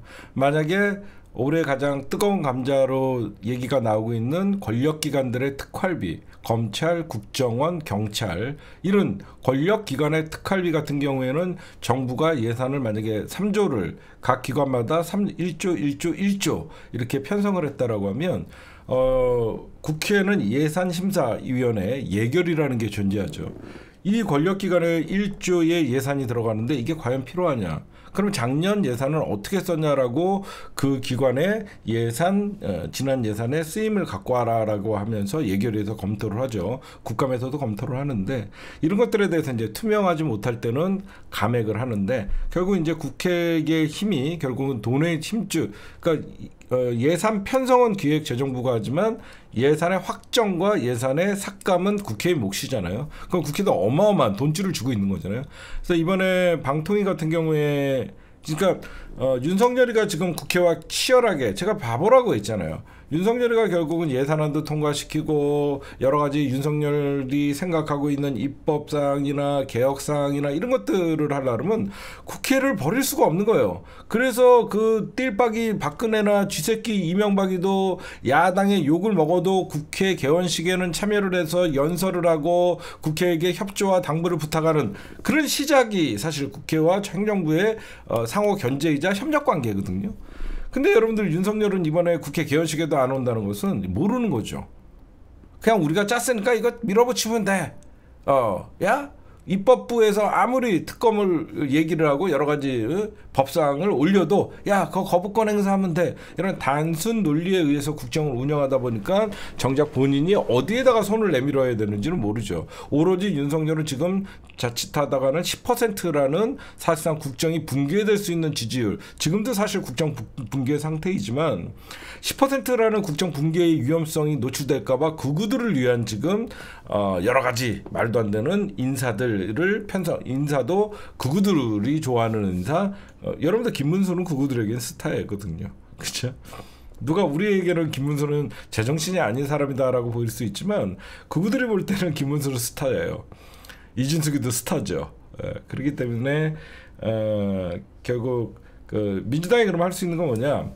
이준숙 같은 애들이 방송문화진흥원의 방통위원장이고 어, 여러 가지 이제 민주당에서 그 국회 의석의 힘으로 탄핵 절차를 통해서 계속 어떤 방통위에 제재를 가하지만 윤석열이가 꼼수를 부려갖고 계속 재임명 재임명하면서 이렇게 왔고 여러 가지 사안도 어, 거부권을 해서 국회 입법부와의 계속 정면 충돌이죠. 그럼 이제는 입법, 입법부는 그래 너 한번 두고 보자. 바로 그게 이제 온 거예요. 음. 여태까지 민주당이 법안 상정, 윤석열 거부권 행사. 그래? 이게 악순환이 여태까지 우리가 이 연결고리가 왔었잖아요. 이, 이런 것들을 이제 국회가 12월에 예산결산위에서 즉 방통위에 운영비를 전액 삭감해 버리면 되는 거예요. 국, 그리고 권력기관의 어, 특활비를 전액 삭감을 하고 그 다음에 국방부의 운영비나 이런 것들을 하면 되는 거예요. 그렇죠. 그럼 얘네들 돈 없이 이 이익 공유 단체가 돈이 없다 그러면 활동을 하지 못하겠죠. 음. 그래서 막강한 국회의 힘은 언제 제일 사실 뭐 국정감사도 있지만 사실 정기국회가 그래서 9월달에 열리는 것이거든요. 국정감사는 정부 기관의 예산 쓰임이나 각종 어, 비리와 그런 것들에 대해서 국정감사를 통해서 밝히는 것이고 가장 사실 정기국회의 하이라이트는 예산이에요. 음, 민주주의 국가, 자본주의 국가에서는 그 예산 편성에 대해서 민주당이 큰 힘을 갖고 있으니까 민주당이 반대하면 예산 통과 안 돼요. 그러니까 여러분들이 보시면 어, 여태까지 윤석열이가 대통령 행정부 권한으로 입법부를 무력화시켰잖아요. 그 입법부에 무력화시켰던 그 대가는 결국은 어, 방통위원회의 인건비, 인건비 같은 것만 빼고 운영비를 삭감을 하면 사실상 아무것도 할 수가 없죠. 특, 검찰이나 국정원이나 어, 경찰도 특활비를 어, 대폭 삭감을 하면 어, 그럼 누구 원망을 하겠어요? 국회를 원망하지 않습니다. 윤석열의 정치를 원망하게 돼 있어요. 그러니까 그렇게 여러분들이 보시면 될 것 같아요. 우리나라 예산이 667조 4천억이에요 내년에. 근데 입법권이 무력화된 거에 대해서 어, 결국 이번에 뜨거운 맛을 볼 것이다. 그렇게 여러분들에게 좀 말씀드립니다. 네, 사실 윤석열의 저는 이번에 조시다 조시다가 방한을 했죠. 예, 금요일 날 와갖고 토요일 날 갔는데 이게 예전 같으면요 윤석열에 대한 기대가 있었으면 조금이라도 기대가 남아 있었다라고 하면 엄청난 국민들의 반향이 있어야 되는 거예요. 지금 어디라고 조시다가 한국에 오냐라고 하면서 어, 언론 보도나 많은 어떤 시민들이 분노를 해야 되는데 윤석열은 이미 포기를 했어요. 윤석열이 포기를 했기 때문에 정무감각 제로 지금 조시다가 왜 오지? 언론도 어, 제가 보면 별로 조시다가 온 거에 대해서 기사거리도 없고 조시다가 온 거에 대해서 사람들이 관심이 없어요. 음. 그 이유는 뭐냐? 윤석열 정부에 거는 기대감이 없기 때문이에요.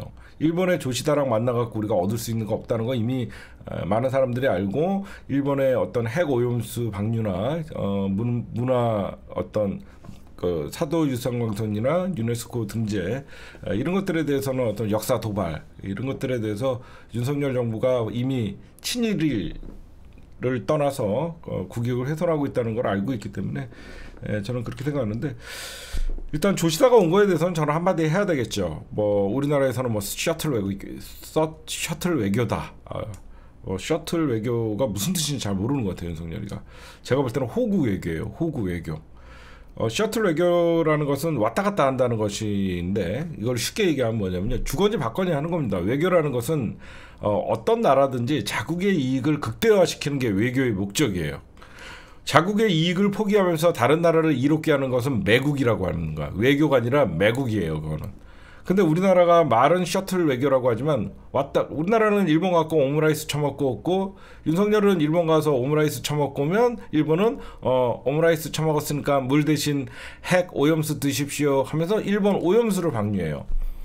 그러면 일본은 우리나 윤석열이는 제가 그래도 강제노동 피해자 제3자 변제 방식을 했는데 어떻게 저에게 오염수를 줍니까? 항의라도 해야 되는데 우리나라의 윤석열 정부는 뭐라 그러냐? 일본의 마음을 이해한다. 그죠? 아니 항의라도 해야 될 거 아니야. 아니 국민들이 핵 오염수를 방류를 하면 제가 뭐가 됩니까? 저는 그래도 오므라이스 처먹고 어? 12,000원짜리 오므라이스 처먹고 하고 핵어 이건 너무한 거 아닙니까? 항의라도 해야 되는데 우리나라 정부는 어때? 일본의 마음을 이해한다. 어. 그러니까 호구 애교예요. 어, 저는 윤석열 정부의 외교 다시 한번 여러분들에게 강조하지만요. 외교는요. 윤석열 정부 빼고 전 세계에서 자국의 이익이 조금이라도 손해 보는 외교는 안 해요. 우리나라는 다른 나라가 묻기도 따지기도 전에 미국과 일본에게 먼저 선 선행 후 기대. 그게 무슨 외교야? 그치? 일본에게 아낌없이 바치고 그리고 일본이 잘해주겠지 했더니 일본은 어때요? 오염수 방류하고 사도 문, 아, 사도광산 문화 유네스코 등재하고 독도에 군함 보내고 병신이거든요. 병신 이거. 어? 그렇잖아요. 선조치 후 기대.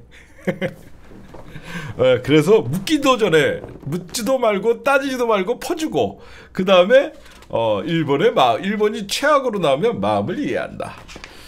반, 반 등신이에요. 어? 대한민국 국무총리라는 새끼가 오염수 자기는 마실 수다 이런 얘기도 하고 이거는 외교가 아니라 그냥 호구라고 하는 겁니다. 그러니까 음, 저는 일본은 눈치가 빠르죠. 외교 우리보다는 지금 일본이 외교를 잘합니다. 저는 어떻게 생각하냐면 아 요것도 이거부터 좀 말씀드릴게요. 이번에 조시다가 왔죠. 조시다가 왔고 윤석열이랑 여러 가지 한 한 두 가지 정도 합의를 했어요. 어떤 합의를 했냐면 어, 제3국에서 전쟁, 분쟁 또는 전염병 발생 시 양국이 자국민 철수에 협력하는 재외국민 보호 협력 각서 체결 어, 요까지는 에, 제가 보면 전쟁이나 분쟁이 있을 때 양국이 자국민 철수에 협력하는 나 이게 이해가 안 가는 게 여러분 생각해 보세요. 제3국에서 만약에 전쟁이 났어. 응? 제3국에서 전쟁이 났어. 그럼 우리나라는 우리나라 비행기 보내갖고 우리나라 국민 철수시키면 돼요. 이거를 협력할 일입니까? 예, 예를 들어서 이스라엘에서 전쟁이 났어. 근데 우리나라와 이스라엘의 관계가 다르고 일본과 이스라엘과의 관계가 다를 수 있잖아. 그럼 우리나라는 어떤 사람들은 남아 있어야 되고 어떤 사람들은 철수를 해야 돼. 이게 겉으로 보면 아니 왜 일본과 우리나라가 하나 국민이 하나입니까? 왜 제3국에서 전쟁이나 분쟁이나 전염병이 발생했는데 우리나라가 비행기가 없어요? 왜 일본 국민과 우리나라 국민을 같이 동일시하는 거죠? 굉장히 무서운 거예요. 그래서 언론에서 얘기 안 합니다. 왜 제3국에서 전쟁과 분쟁, 전염병이 발생했는데 그냥 그 각자 자기 나라의 국민들 데리고 오면 돼요. 왜 우리나라가 일본과 협력해서 우리나라 국민들을 철수를 시킵니까? 이상하죠. 언론 기사가 이상하. 이런 합의가 이상한 겁니다. 우리나라 국민 우리가 필요하면 우리나라 전세기 급하게 뛰어갖고 보내면 되는 거예요. 어? 그렇잖아요. 말도 안 됩니다. 이거는 뭐냐면 얘네들이 정말 얘기하고 싶은 거는 겉으로는 자국민 철수에 협력한다고 하지만 반대로 생각해 보세요. 저는 이 뉴스의 행간은 정부가 발표한 일본이와 우리나라가 어떤 협력하는 체결했다라고 하지만 봐봐요. 전쟁 분쟁 전염병 발생 양국이 철수가 아니지만 여러분들 생각해 보세요. 여기서 만약에 자국민이 희생됐다라고 하면 뭐예요 양국이 같이 군사 협력을 한다는 거죠 그렇죠 그게 핵심인 거예요 전쟁 또는 전쟁이 왜 들어가요 그러니까 알아서 철수하면 되는데 얘네들이 말하고 싶은 것은 양국 국민이 철수한다라고 발표했지만 그 이면에는 그 나라에 대해서 일본 국민이나 우리 국민이 다쳤을 경우에는 일본군과 우리나라가 합세해서 제외 국민을 보호하겠다. 철수만이 보호. 보호가 뭐야? 군사적 동맹을 저는 어, 포함시켰다고 생각하고 그 다음에 요것도 여러분들 제가 이 뉴스의 행간을 알려드릴게요. 일본과 우리나라가 출입국 간소화를 위한 사전 입국 심사 제도를 협력하겠다. 어 출입국 할 때 사전 어 저기 입국 심사 제도를 간소화하겠다. 이거 누가 보면 아 어, 좀 간편하게 일본 우리나라도 일본에 가고 일본도 우리나라에 이렇게 들어오는 거나 이렇게 생각할 수 있지만 전혀 다른 겁니다. 일본의 요구 사항이에요. 일본의 요구 사항입니다. 일본 국민들이 우리나라 많이 옵니까? 우리나라 국민들이 일본에 많이 갑니까? 그리고 일본은 전 세계 관광지 관광지 관광 어 관광 인구가 엄청나요. 일본은 여러분들 나리다 공항뿐만 아니라 오사카 공항 여러 가지 보면요. 엄청 일본은 관광객이 엄청나게 많이 들어오는 나라예요. 그러다 보니까 일본의 세관에서 요구하는 거예요. 어 일본 한국 국민들이 일본에 많이 가니까 이 절차라도 좀 간소화하자. 너무 대기가 있으니까 일본의 요구를 하기 위해서 사전 입국 심사 제도를 협력한 거예요. 어, 이건 우리나라의 요구가 아니다. 일본의 조시다가 어, 얘기한 것이다. 그 다음에 음, 지금 일본 주요 공항이 포화 상태거든요. 일본의 외국 관광객, 관광객들이 너무 많이 가니까 일본의 요구사항이다. 그 다음에 일본이 이번에 조시다가 오면서 선물을 갖고 왔다라고 하면서 갖고 온 거면서 언론이 대대적인 보도를 했어요. 조시다가 어떤 선물을 갖고 왔냐? 1945년 8월 우미키시마오 폭침 사건. 그러니까 우리나라가 그 우리나라 조선인들이 승선한 배가 폭침한 사건이 있었습니다. 거기에 조선인 승선 어, 승선자 명부를 어, 한국 대사관을 통해 전달을 했어요 이번에. 그러니까 마치 일본이 어 전향적으로 우리나라의 그러니까 자기가 그러니까 일본의 어떤 그 군사적 행동에 의해서 조선이 피해에 대해서 반성하는 것 같이 명단을 준게 예, 언론에 나오고 있는데 사실은 이렇습니다. 이 여러분들 우미 우키시마오라는 이 배에는 우리 조선인들만 있었던 게 아니라 일본인들도 있었겠죠. 그, 그러다 보니까 그 일본인 희생자 가족들이 일본 정부를 상대로 통해서 오랫동안 정보 공개 청구를 요구하자 드디어 이 정배국 공개 청구가 일본 유가족들의 법원에 일본 법원이 이 유가족들의 편을 손을 들어주면서 이 명부가 이미 공개가 됐어요. 그냥 공개된 거를 뒤늦게 준 거예요. 자료를 79년간 은폐하다가 일본 국민이 일본 정부를 상태로 자기 가족이 우미키시마오 우키시마오에 탔었다 그 명부를 공개해 달라고 해서 일본 정부가 이미 공고한 겁니다. 그거를 갖고 마치 79년 만에 한국 정부에다가 이 명부를 전달한 것 같이 얘기했는데 이 이 이 사건의 본질은 일본은 70 1945년 8월 우키시마호에 탑승했던 조선인 명부를 여태까지 은폐하고 진실을 외면했던 거에 대해서 사과부터 했어야 되는 거예요. 이거를 선물로 포장한 거예요. 사실 그 당시에 수많은 조선인 피, 어, 사망자가 있었다라고 하면서 이제라도 어, 그분의 영령들의 넋을 기르고 사과를 하는 게 맞는 것이죠. 은폐한 거에 대해서. 그러니까 이것도 잘못된 뉴스다. 그 다음에 그다음에 일본이 우리나라가 여러분들 어 외교라는 건요. 균형이죠. 균형 외교 막 이런 얘기를 하죠. 뭐냐면 한쪽에 어떤 이익을 주면 우리나라가 일본에게 어떤 그 일본의 강제징용 전쟁 전범에 관해서 피해자들의 대법원의 판결 보상을 해라라고 하면 어 우리나라가 제3자 방식에 에, 하겠다. 윤석열 정부가. 근데 윤석열이가 역사를 재단할 자격이 없다라고 얘기했죠 제가 그, 그렇게 어떻게 보면 일본의 입장에서는 환영해 자기네들이 유리한 것들이 오면 일본도 우리나라에게 뭔가 어떤 국익에 이익되는 것들을 해야 되는데 그게 균형 외교고 이익 외교예요 근데 우리나라는 아낌없이 퍼주고 우리가 받은 게 뭐가 있을까 생각했습니다 여태까지 윤석열이 3년차 집권을 하면서 12번 조시다를 만나면서 우리가 그럼 과연 일본에게 얻을, 얻어놓은 게 뭐 있나? 라고 찾았어요. 우리가 일본에게 받은 것은 어 일본이 강제 동원 배상 책임의 면제부를 줘서 우리가 그걸 받았고요.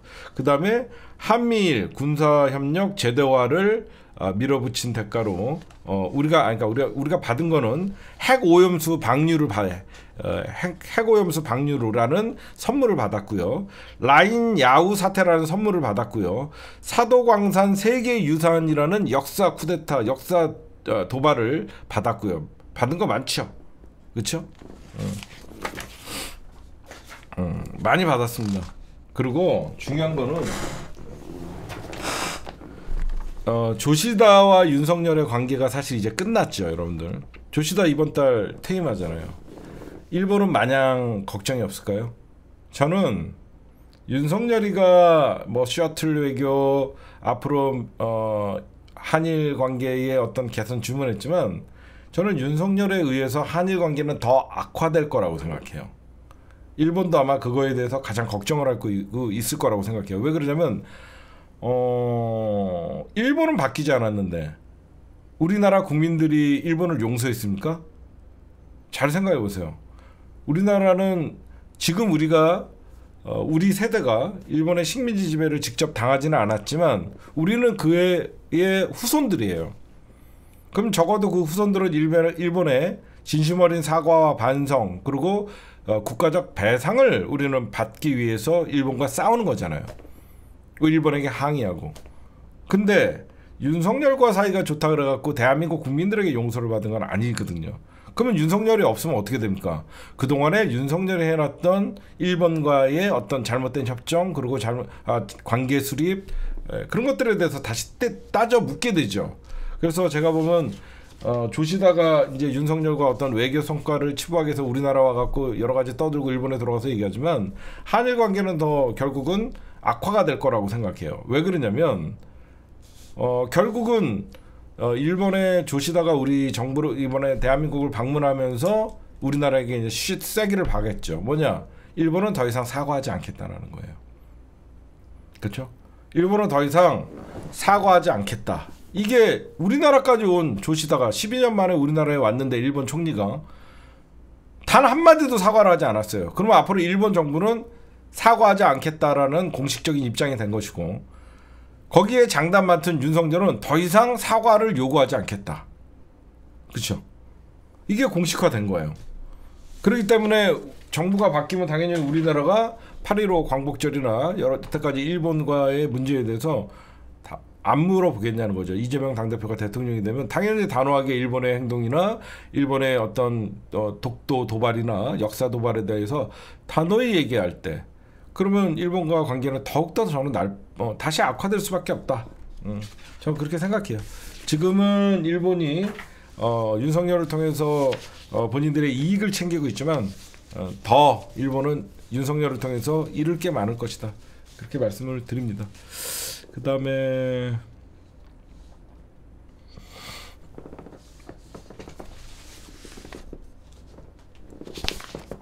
제가 이번에는 김건희 수사심의 그거 얘기하고 2부에서는 어, 핵심적인 어, 이재명 당대표의 문재인 대통령 어, 어, 봉화마을 그리고 양산 방문한 문제에 대해서 짚, 짚도록 하겠습니다.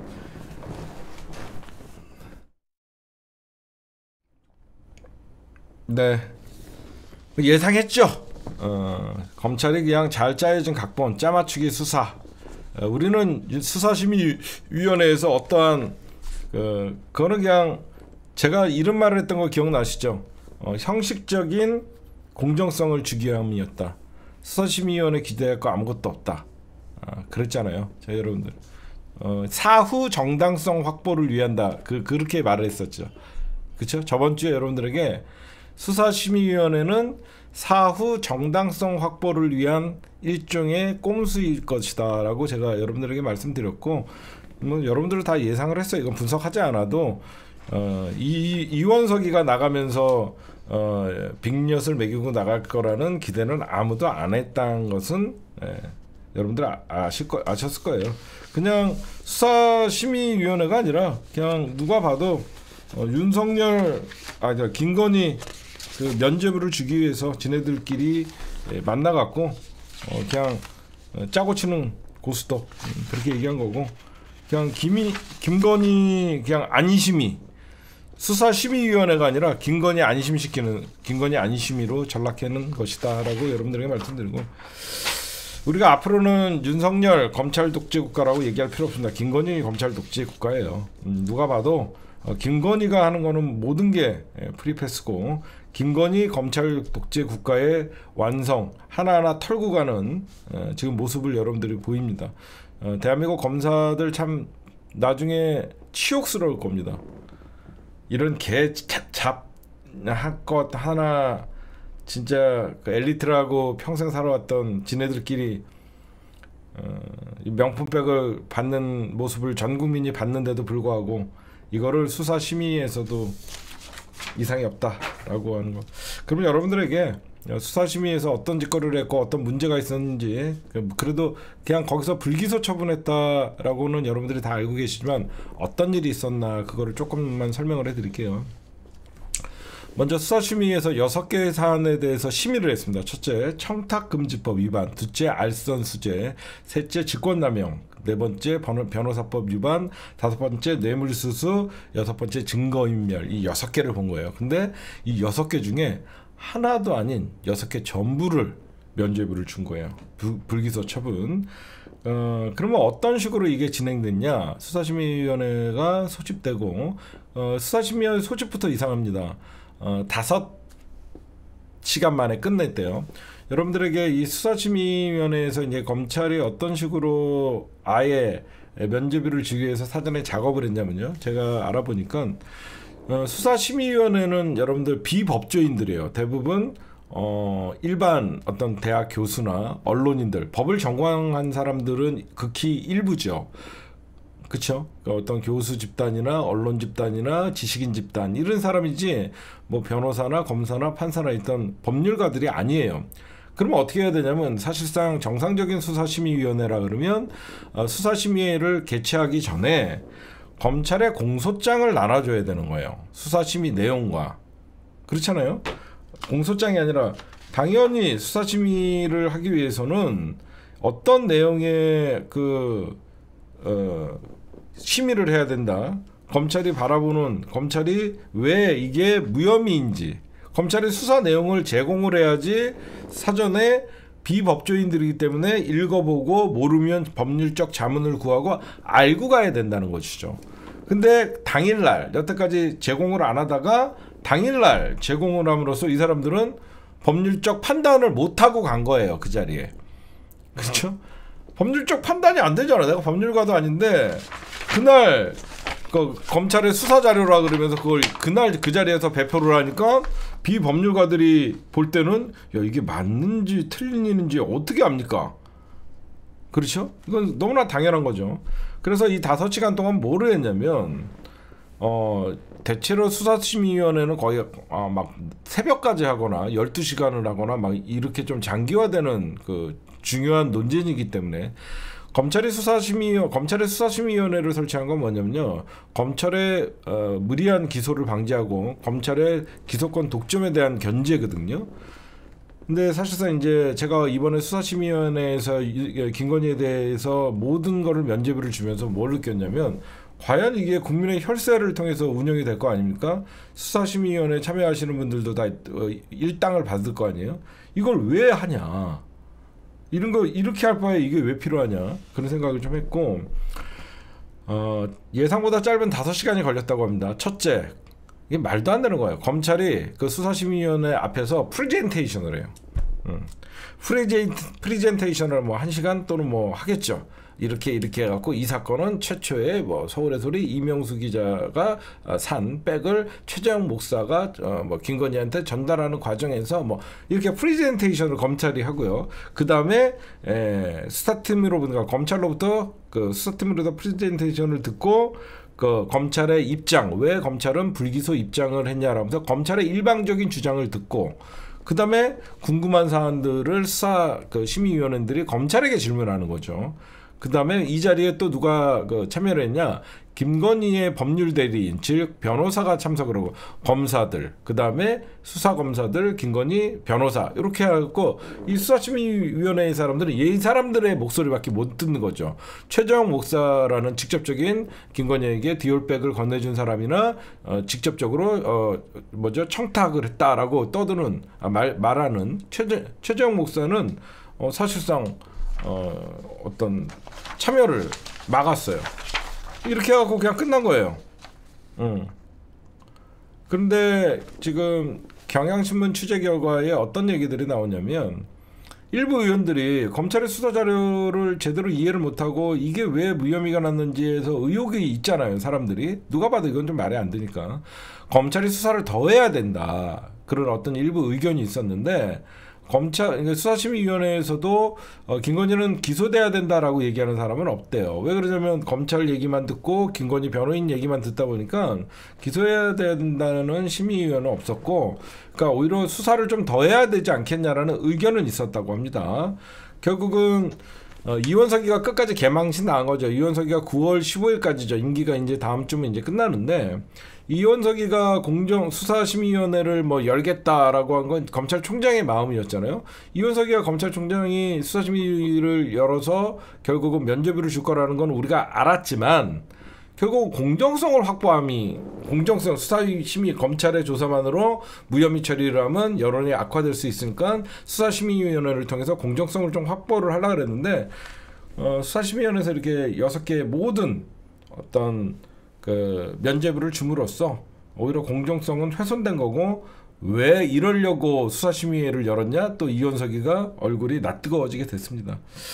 어, 아마 제 생각에는 최종적으로 어, 검찰 검찰총장이 사인이 있어야 되거든요. 이미 검찰은 김건희 명품백 사건에 대해서는 불기소를 의견을 냈고 최종적으로 검찰총장의 사인이 있어서 그게 확정되잖아요, 여러분들. 어, 이원석이가 임기가 9월 15일이지만 이원석이가 아마 이번 13일 금요일 정도에 그 퇴임식을 가질 거예요. 미리 퇴임식을 가지고 맞 어 그러면 이번 주에 아마 사인을 한다는 소리야. 어. 이번 주 중에 그러니까 수사심의도 어, 어떻게 하든지 빨리 했잖아요. 이원석이가 자기가 매듭 짓고 나가겠다는 거기 때문에 음, 윤석열에 대한 마지막 충성을 맹세한 거기 때문에 제가 볼 때는 이번 주에 불기소 처분을 최종적 확정하고 그 다음에 이원석 퇴임하는 절차를 에, 가, 가질 거예요. 근데 김건희가 여러분들 이런 백만 받았습니까? 김건희 제가 늘 얘기했잖아요. 어, 디올백은 이거는 아무것도 아니다. 이거 해봐야 뭐 청탁금지법 그냥 뭐 기소 정도인데 여러분들 알다시피 검찰에서도 도이치모터스 주가 조작은 어, 이, 이 모녀들이 어, 20, 23억인가요? 해먹었다 이게 나왔잖아요. 그렇기 때문에 이번 9월 12일 날 어, 9월 12일 날 뭐가 있냐면요. 도이치모터스 주가 조작 사건 항소심 선고가 있어요. 항소심 선고. 근데 여기서 좀 이상한 게 있어요. 뭐가 있냐면 1심에서는 전주 역할을 했던 손모 씨 여러분들 언론을 통해서 좀 찾아보신 분들은 알 거예요. 이 전주 중에 손모 씨가 있는데 이 사람이 무죄였어요. 근데 검찰이 여러분 사실 도이치모터스 주가 조작 사건 수사했던 검사들이 수사를 잘 해놨어요. 응. 수사를 되게 잘 해놓고 자천됐어요. 알고 계시죠?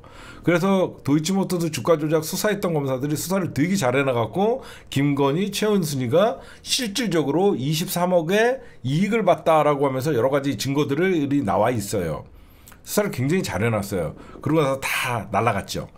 근데 이 전주였던 선모 씨가 1심에서 무죄를 받았는데 검찰에서 항소심에다가 이 수사를 잘 해놨던 검사들이 1심에서 얘가 손 전주가 무혐의를 받으니까 이 여자를 주가 조작 방조 혐의를 추가했어요.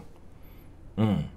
주가 조작 방조 혐의를 추가를 했습니다. 이 도이치모터스 수사 어, 검사들이 공소장을 변경을 해서 그래서 이번에 만약에 이 전주 1심에서 무죄 받았던 전주가 항소심에서 유죄가 나온다 그러면 김건희도 당연히 기소해야 된다는 이론이 되고 특검에 탄력이 붙을 수밖에 없겠죠. 어, 무슨 말씀인지 아시겠죠?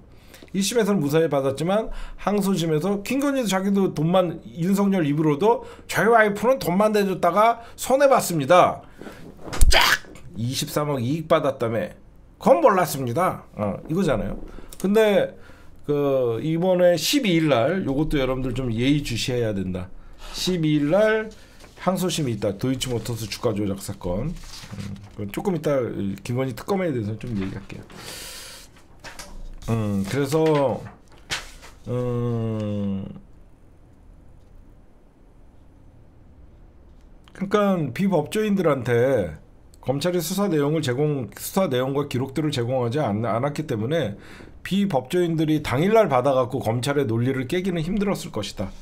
어, 그런 말씀을 들었고 어, 지금 여러분들 제가 조금 하나 저는 항상 이렇게 정치 분석도 하지만 대안을 좀 제시해 주잖아요.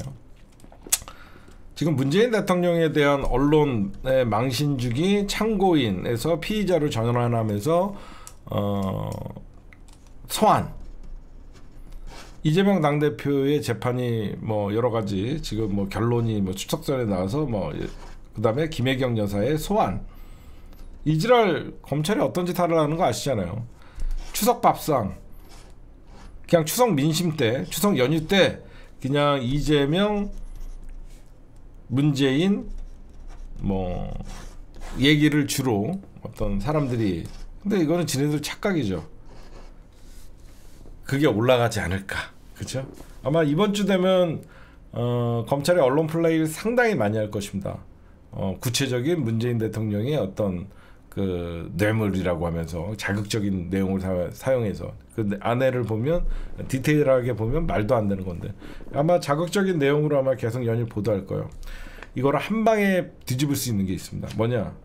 민주당이 다수당이고 어떤 의석을 많이 갖고 있죠. 어, 추석 전날 김건희 특검법 재상정하면 돼요. 음, 그렇죠? 9월 12일 날 도이치모터스 주가 조작 항소심이 나오잖아. 도이치모터스 주가 조작 사건이 항소심이 12일 날 제가 나온다 그랬잖아. 어? 그걸 딱 가지고 추석 전에 김건희 특검법 9월에 민주당이 예, 단독으로 김건희 특검법 통과시키면 어, 결국은 민주당이 추석에 김건희 도이치모터스 주가 조작으로 그 모든 것들 검찰은 어, 안 돼요. 어, 니들이 아무리 이지라라고 저지라라고 해도 안 돼요. 어, 안될 거예요. 어. 추석 선물은 김건희 특검법으로 여러분들에게 선물을 어, 민주당이 준비하고 있다. 예, 여러분들이 그렇게 좀 아시면 될 것 같아요. 예.